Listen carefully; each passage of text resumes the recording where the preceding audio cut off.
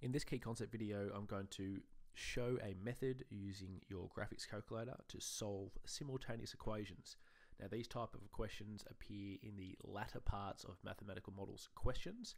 They're not usually direct questions, however, sometimes say in part E or F a new equation will be presented and the question will ask when one equation or function equals the other and that actually is a simultaneous equation question.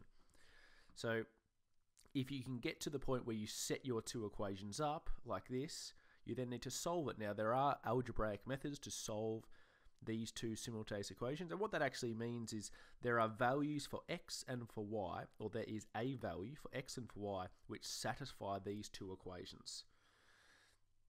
So there are a couple of algebraic methods, um, elimination, substitution. However, I'm going to show you how to solve them directly using your graphics calculator. Just open your calculator up, go to an empty scratch pad. Now go menu, number three, algebra. Number two, solve system of linear equations. Now it asks how many equations. Usually your questions will have two. In fact, I haven't seen one with three, but that option is there. And the variables are x and y. Um, harder subjects may have three equations with x, y, z, and you would put comma z there. But for this case here, there are just two equations, and the variables, the only variables in those equations are x and y. Um, and now we just enter both equations directly. So that in the top line, I'm going to enter equation 1. So 4x plus 5y equals 2. And then I tab down to the second line, 2x minus 5y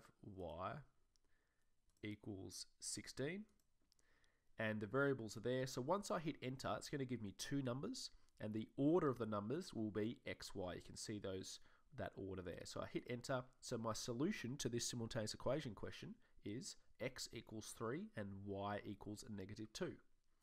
So pretty simple there. I use it all the time. Um, and that's about it for this key concept video. So uh, I'll see you in the next video.